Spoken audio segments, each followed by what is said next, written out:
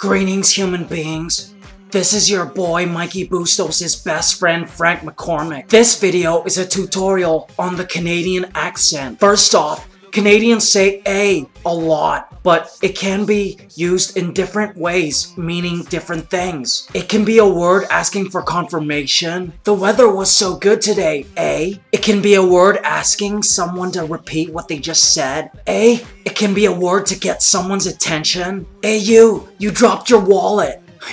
You're welcome. Also, apparently some Canadians say words like out and about weird. Some pronounce it like out in a boat. But ouch is still ouch.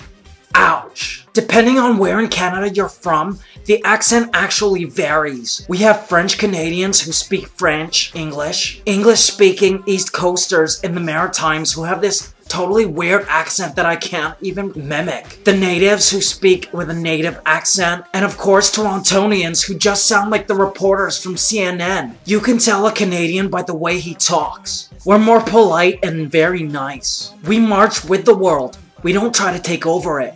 That's why other countries love us Canadians. Anyway, hail to the Queen, Avril Lavigne. She's Canadian. Love you. She's Canadian.